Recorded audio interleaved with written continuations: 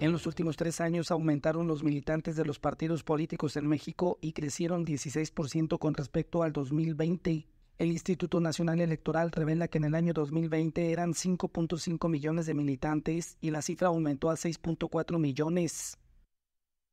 El gran vencedor es Morena, que cuadruplicó su militancia, seguido por el PAN con 10% y el PRI es el que más perdió. De la mano de López Obrador, Morena tiene 2.6 millones de militantes en las 32 entidades. Sus bastiones son el Estado de México, Ciudad de México, Chiapas, Oaxaca, Veracruz y Puebla. Y los estados con menos militantes morenistas son Aguascalientes y Yucatán. El PRI es el que va a la baja con 1.4 millones. Tiene presencia en 31 entidades y sus principales bastiones son el Estado de México, Coahuila e Hidalgo. Por su parte, el PRD es el tercer lugar con más militantes y tiene 999 mil. Aunque la gran mayoría de simpatizantes se pasó a Morena, los estados con más militancia son Ciudad de México, Estado de México, Michoacán, Guerrero y Veracruz.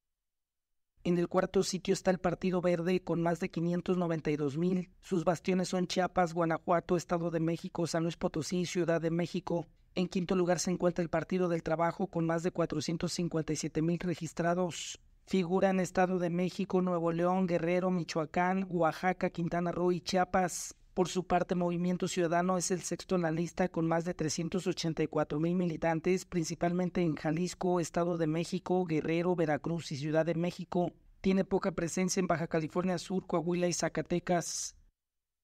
Y el séptimo y último lugar es el PAN, quien apenas tiene más de 277 mil afiliados con presencia en Estado de México, Veracruz, Puebla, Ciudad de México, Jalisco, Guanajuato y Querétaro. En donde muestra un debilitamiento es en Baja California Sur, Campeche, Chiapas, Colima, Nayarit, Quintana Roo y Tabasco.